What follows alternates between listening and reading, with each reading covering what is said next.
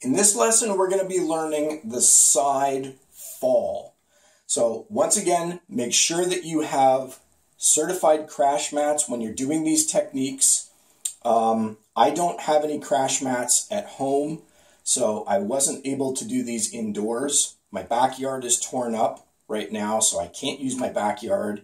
Um, if you don't have crash mats, you can practice these techniques on grass, but it's still not ideal uh, landing on grass is still much harder uh, than landing on a crash mat.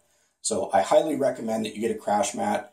And remember, a yoga mat, something like that, is not good enough. A yoga mat is a long, long way away from being a crash mat. So a crash mat is meant to take impacts. It's meant to take your body weight falling on it and help you avoid serious injury. So for side fall, what we're going to be doing here, again, starting from a standing position. If you're going to be falling to your right side, like I am in the video here, what you're going to do is grab the knot on your belt with your left hand, and then you're going to kick your right leg to the side. So swing your right leg to the side, and then lower yourself down and slap the ground with your right hand. And you're going to see that here in just a moment.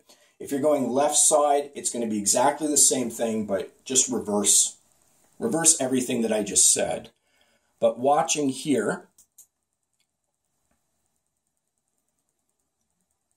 dropping down and then slapping the arm on the ground.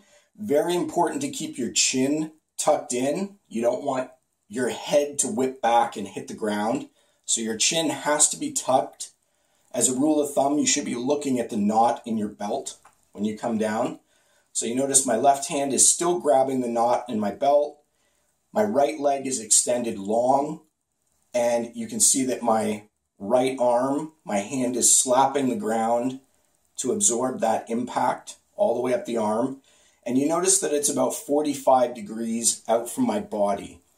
It's a mistake to have the arm too close to your leg, and it's also a mistake to have your arm way out to the side, 90 degrees from your body.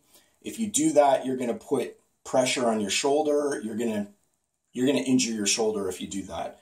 So it has to be it has to be about 45 degrees from your body. So that position right there. So watching this again, so from the beginning,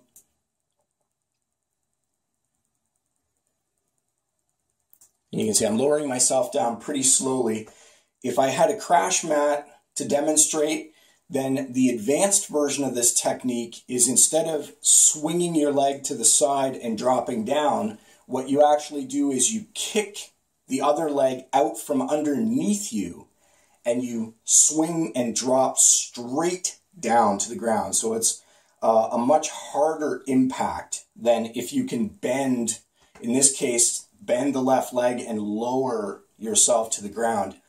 The advanced version, you actually kick the leg right out from underneath you to simulate a leg sweep, and then you drop straight down and you do the technique the same way. It's just a much more violent fall. But looking at this from the side, so there you can see it. So I'm lowering myself down to show the technique. Here you can see I'm grabbing the knot in my belt and here you can see swinging the leg out to the front. And here I'm bending the other leg to lower myself down. So reducing the impact and then slapping the arm down on the ground, keeping the chin tucked in. And you can see the left leg is stretched out long. And there's the finishing position. And again, you can see the arm is here, about 45 out from the body. It's not way out over here. This would be wrong. This would injure your shoulder if you had your arm way out here. So it's got to be in closer, chin tucked so that your head doesn't smack the ground when you're going backward. And why would you use a technique like this? Well, this would, again, in a real world scenario, if somebody leg sweeps you, somebody kicks your legs out from underneath you, You might fall down this way and have to protect yourself so that you can avoid injury when you fall or minimize injury when you fall. Because if this is, uh, for example, concrete, you're going to be taking bumps and bruises no matter what you do when you go down.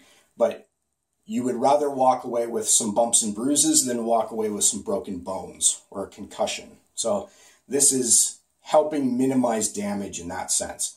So if you're in a real fight and somebody kicks your leg out from underneath you or a free sparring match uh, and somebody leg sweeps you or something and you're going down hard, this helps save you from serious injury. Uh, with the Hapkido, advanced Hapkido techniques that we're learning or we're getting into now, we're getting into throws, you need to be able to land properly to avoid injury. There are many techniques coming up that are going to involve throws. So very important that you can land safely out of those when you're working with a partner. Uh, so many reasons to have these techniques and also the higher level kicking techniques that we're going to get into where we're doing jumping and flying techniques. If you do one of those techniques incorrectly, you may find that you're coming down hard and you're going to have to brace for impact and be able to land safely to protect yourself. It happens. So get a certified crash mat if you're going to practice these techniques indoors. If you're going to do them outside, grass is probably your best option at that point, but I still highly recommend doing it inside with crash mats. But that is the side fall.